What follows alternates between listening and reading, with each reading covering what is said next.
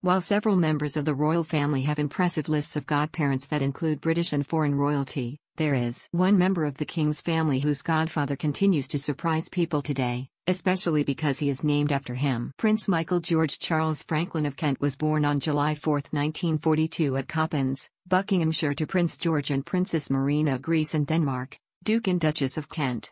When he was just over a month old, his father was killed in an RAF plane crash. Prince George left behind his wife, new baby and his two older children, Prince Edward, the present Duke of Kent, and Princess Alexandra, the Honourable Lady Ogilvy.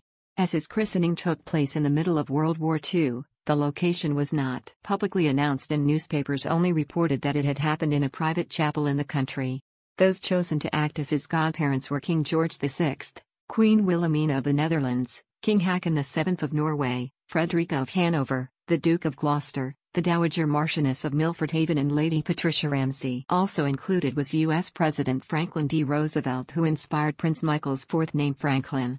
While Roosevelt died just three years after Michael was born, he is often heralded as a hero and as one of the U.S.'s most successful presidents, with many experts ranking him in the top three alongside George Washington and Abraham Lincoln.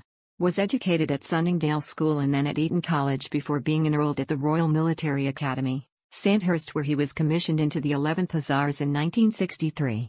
Love the Royals. Sign up for the Mirror's daily newsletter to get all the latest news on the Queen, Charles, Kate, Wills, Meghan, Harry, and the rest of the firm. Click here to sign up. As a wedding present, they were given the use of a grace and favor home in the grounds of Kensington Palace from the late Queen. The couple had two children, Lord Frederick Michael George David Louis Windsor, born 1979, and Lady Gabriella Marina Alexandra Ophelia Kingston, b. 1981. Prince Michael has two grandchildren, Maud and Isabella Windsor, who are the daughters of Lord Frederick Windsor and Sophie Winkleman. While he was not expected to carry out a large number of royal duties, he has many important ties to charities such as the Maritime Volunteer Service, the London School of Business and Finance and the Kennel Club. The prince is fluent in French and Russian and is also a skilled German and Italian speaker. Much like his elder brother, Prince Michael is an active Freemason and is known as the Grand Master of the Grand Lodge of Mark Master Masons.